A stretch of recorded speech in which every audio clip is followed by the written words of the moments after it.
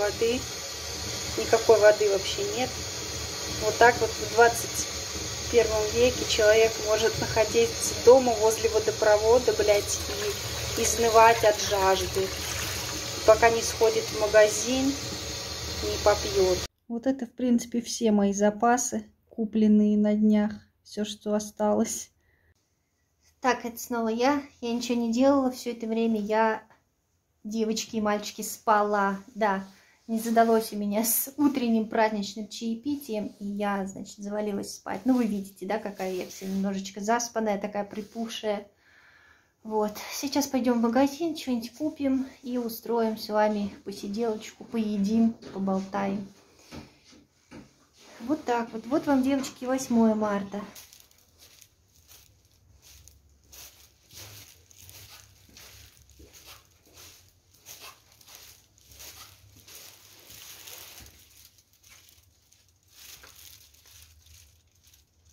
Какой там закат в грязном окне.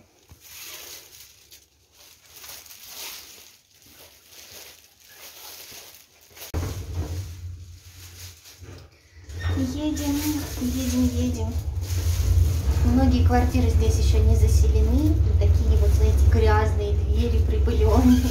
Такое ощущение, что это какое-то заброшенное место, где никто не живет. Как-то так.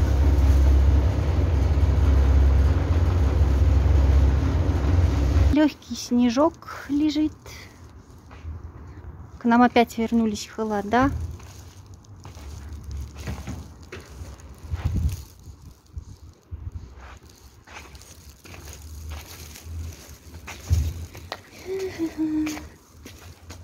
Я сразу иду в магнит с пакетом из магнита, чтобы не покупать. Такая крутая. И в пакете у меня лежит, значит, такой клатч от дорогой сумочки, купленной, короче, какого-то британского производителя. Вот, видите, я такая интеллигентная такое красивое небо. Никогда не покупайте квартиры на левом берегу. Здесь постоянно воняет каким-то говном и аммиаком. И со временем ты сам тоже начинаешь вонять каким-то дерьмом. В общем, так. Звучит жестко, но это правда. Дерьмишкой постоянно тут какой-то наносит. Так, я уже вернулась. Сегодня явно не мой день. Посмотрите, картинка называется «Ожидание, ожидание, реальность». Что мы ожидали? Ожидали мы вот такую вот яркую, вкусную азиатскую смесь. И что мы имеем? Вот такую вот бледную поганку какую-то, бледную поганку. Ну вот, собственно говоря, вот они, эти бледные поганки тут тоже положили, не забыли. И два куска вот такой вот жировой смеси с добавлением соевого соуса. Просто, просто посмотрите, просто взгляните на это. Прям один в один. Прям не могу отличить. Да, забыла добавить, здесь нет ни зеленого лука, вот, который на упаковке, ни зеленого перца. И ростки какой-то не первой этой свежести, какие-то, вот, смотрите, какие-то пожухлые. Так, фокусируйся, камера. Гнилые, короче, какие-то жухлые ростки. Я видела в Корее, как выглядят эти ростки. Их вообще не проблема купить в каждом супермаркете. Ну, они выглядят именно так, как на картинке. Вот такой росточек, вот такая вот росточек и вот такая пимпочка. А это что это вот вообще? Это какой-то глист. Запах такой, знаете, как будто бы скунс просто пометил свою территорию. Вот такой запах. Я не понимаю, откуда он исходит. Может быть, от грибов или от чего-то еще. Так, что я буду делать? Сейчас, сейчас буду делать быструю пиццу из э, лепешки кунжутной. Так, вот такая пицца. Сейчас я ее буду подогревать немножко на сковороде, чтобы сырок поплавился. Такая вот. Итак, я готова. Я готова. Моя хлебопицца тоже готова. Хлебопицца с томатами и двумя, значит, сырами. Вот такая вот пицца-хлебопицца. Надо ее срочно пробовать, пока она горячая. Я на донышко добавляла немножко масла, чтобы Там сзади так все поджа поджарилось снизу, и была такая хрусткость, хрустела, чтобы немножко. Вот. Поздравляю нас с праздником. Желаю нам всего самого прекрасного, наилучшего, чудесного, замечательного. И чтобы много, и чтобы каждый день. Вот. Все, давайте кушать.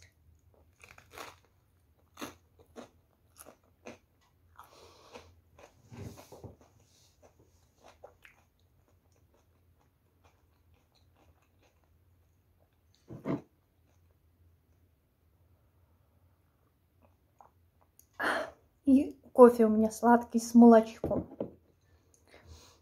Вот такая вот пицца. Не стала я добавлять эти перцы. Я хотела немножко перцев сюда добавить из овощной смеси, но они так пахли вот этими гриб, грибами или чем. Вот эти гни, гнилушками этими какими-то из азиатской смеси, что я решила не портить не портить столько продуктов, не портить свежую помидорку, не портить два вида сыра, не портить прекрасную свежую кунжутную лепешечку, из которой я приготовила эту пиццу.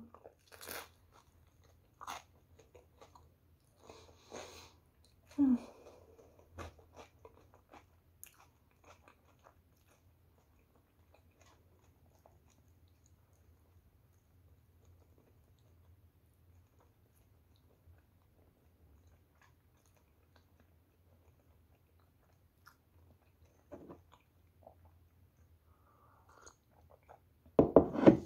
Итак, несколько слов по поводу праздников.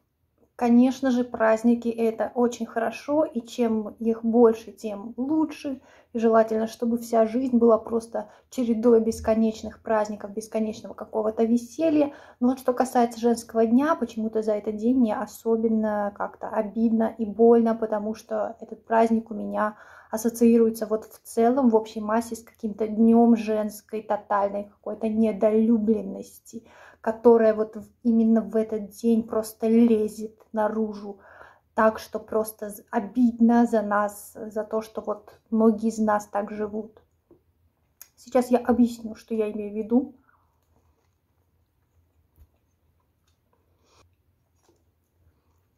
Для некоторых это просто очередной повод потусить, повеселиться, и в принципе это хорошо.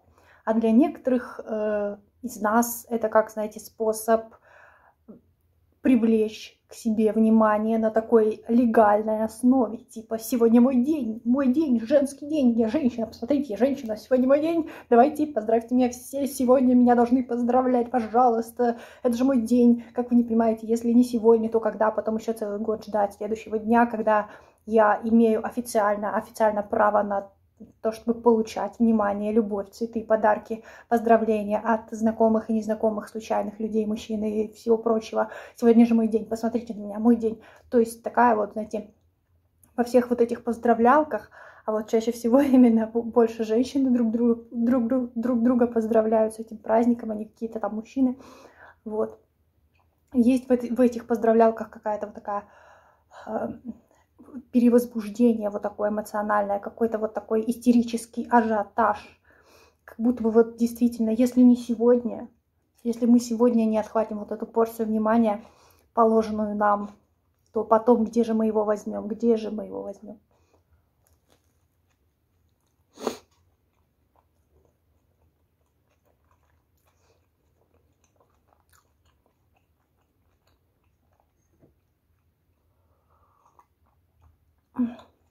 Это ни в коем случае, конечно же, не обвинение, нет. Это констатация факта, да, что когда наблюдается вот такой вот факт эмоционального такого э, возбуждения, истерии, это связано, конечно же, с тем, что, по всей видимости, в повседневной жизни многим не хватает, многим не хватает вот, вот этого внимания, вот этих каких-то подарков, цветов и так далее, и какой-то любви, какого-то тепла.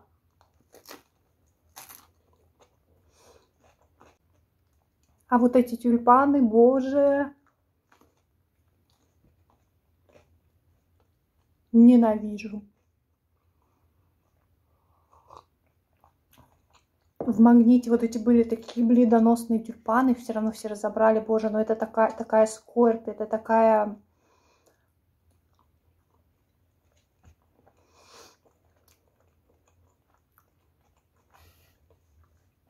Мое детство пришлось на 90-е, у многих было тогда сложно с деньгами, кризис. И мой папа маме иногда приносил мимозы. И она ненавидела это, она считала это просто каким-то оскорблением, унижением его, ее женского достоинства. То есть лучше ничего, чем вот эти какие-то мимозы. Ну, я могу ее понять на тот момент, я так понимаю. Она же все-таки еще была очень молодая женщина. Какие мимозы? Зачем нам такая мимозная любовь? Да, вот это вот ассоциируется с чем-то таким старушечьим, но есть люди, которые очень любят, очень прям фанатеют от от этого запаха, даже ищут парфю, парфюмерию с э, какими-то нотками мимозными. Но для нее это было просто, и я ее очень понимаю. И вот сейчас уже тюльпаны тоже себя вот так вот подожжили. У меня, кстати, одной приятельнице моей подарили действительно очень красивый такой букет из тюльпанов, но в основном вот эти вот бледоносные какие-то стебелечки, которые в супермаркетах, там в прикассовой зоне просто огромными партиями сейчас распродаются, распродавались вот 8, 8 марта до 8 марта, потому что э, тех, кого там на работе поздравляют, 8 марта выходной, а до 8 марта стараются всех поздравить. То есть вот это вот все разнесли, раскупили, вот эти вот все. Там еще в горшочках были какие-то тоже убогенькие цветы, все разнесли, все, все пораздарили. И женщины просто радуются, просто не могут нарадоваться, как же, как же, наконец-то мы получили вот это внимание. Что же с этим делать? Я считаю, что с этим надо как-то, знаете, бороться, как-то себя больше любить, больше уважать, искать людей, а, искать отношения, которые будут тебе давать тепло, давать вот эту любовь, давать вот это внимание, не только в праздничные вот эти, в календарные вот эти праздники, а ты будешь чувствовать эту благодарность от э, людей к себе как женщине на регулярной основе, а не только вот в этот день, когда там принято поздравить наконец-то маму, Почему раньше нельзя и сказать какие-то теплые слова, в принципе, каждый день можно говорить. Или когда жену там, или девушку свою, ну почему, да, или подругу. Я вообще за то, чтобы вот в какой-то там дружбе, в приятельстве делать спонтанные какие-то маленькие подарочки. Когда-то вот шла, вспомнила там, ой, там моя приятельница любит чай, у нее там много видов чая, куплю ей чай какой-то интересный, новый, необычный. Или там, ой, она сказала, что нет кружек, куплю кружку, да? Ну, что-то типа такого. То есть вот такие вот какие-то мелочи, этим наполнять жизнь, чтобы вот этот вот этот эффект, который мы ждем только от праздничного дня, чтобы он был и в повседневной жизни. Вот что я хотела сказать. Вот что я хотела сказать. Все. Теперь пошел второй кусочек хлеба пиццы.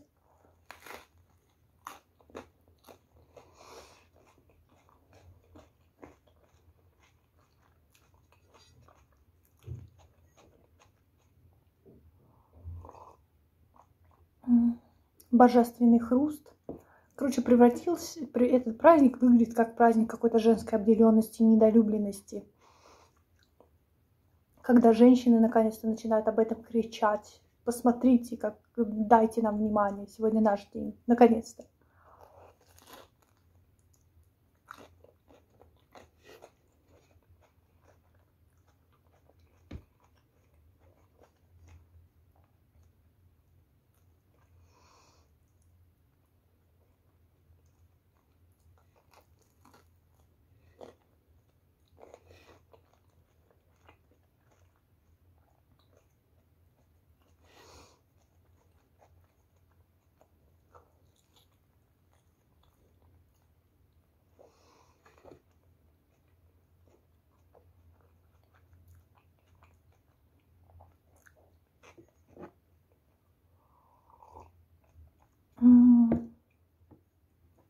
Я добавила сюда мягкий сыр каймак. Он сделан из сливок с закваской, сливки с закваской. У него, по-моему, там массовая доля жирности 70%. То есть такой супер калорийный продукт. Он такой натуральный, такой вкусный. Он изготавливается без консервантов. Просто какой-то супер пища. Я помню, я так себя плохо чувствовала, у меня была такая адская слабость. Я купила вот эту баночку каймака, и я его съела, и просто воскресла для жизни. Энергии не было просто никакой. И э, что в нем хорошо, то что даже в небольшой получается порции большая энергетическая вот эта вот ценность.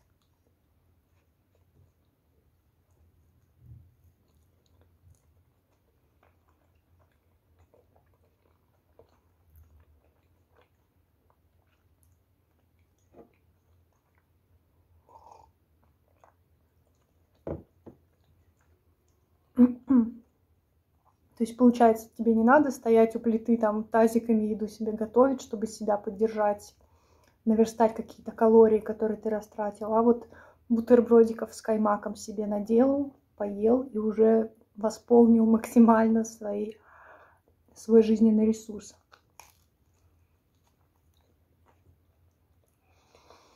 Mm.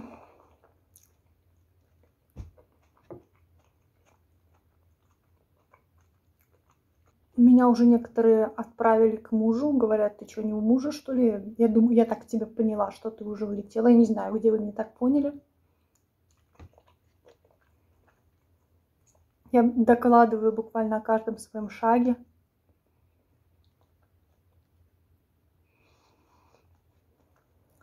Я пока только подала документы на визу.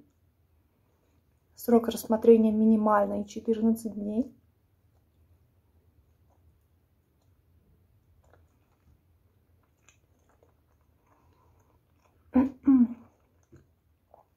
Услышала от других людей, что даже при, если ты ее как бы получил, ее не так просто распечатать, потому что сайт виснет.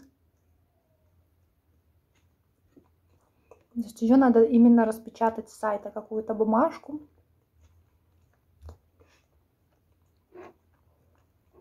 А в посольстве, в посольстве тебе просто возвращают паспорт, потому что Сейчас у меня забрали паспорт мой заграничный в посольстве. Вот. В посольстве просто забираешь паспорт, а если виза выдана, одобрена, ты ищешь эту инфу на сайте. Если после многочисленных загрузок у тебя все получилось, ты пытаешься ее как-то сохранить и потом распечатать.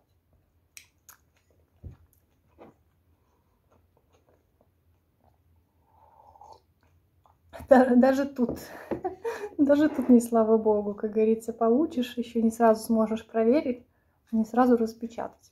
Будешь сидеть там грузить, потому что там какая-то, видите ли, ошибка на сайте. Сайт плохо работает. Поэтому далеко еще до этого. Если все пойдет хорошо со мной, с моими документами, с Ариной, то мы улетим где-то в начале апреля. А если нет, то еще может растянуться все на месяц.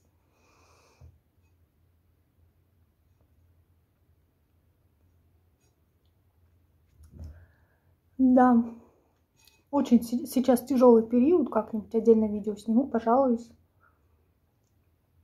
Такое достаточно токсичные у меня сейчас взаимоотношения с самой собой. И не потому, что я где-то что-то там делаю неправильно, а потому что такая ситуация сложилась жизненная, что и у меня токсичные отношения с самой собой. То есть есть цель, цель требует слишком больших вложений и слишком больших жертв сейчас. И если ты многим жертвуешь сейчас, то у тебя очень мало возможностей именно сейчас наслаждаться жизнью. Ты как бы у тебя такой псевдосиндром начинается отложенной жизни, да, это почему я говорю псевдо, ну, потому что это не совсем то, да, то есть синдром отложенной жизни, это когда человек на постоянной основе откладывает свою жизнь, то есть он как бы не живет, а только готовится к тому, что вот как будто бы там потом когда-то он будет жить. Это на постоянной основе, это годами может длиться, вот это синдром отложенной жизни. А у меня что-то типа того, да, то есть это похоже.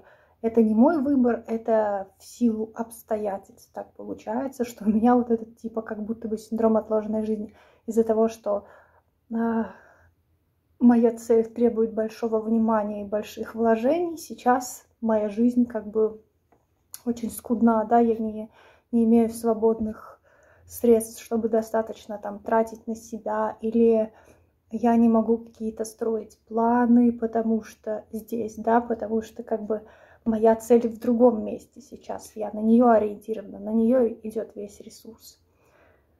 То есть я никак не устраиваю свою жизнь здесь, потому что, да, зачем, я же собираюсь уезжать, и сейчас на это весь ресурс идет. Вся, все силы, вся энергия, все средства.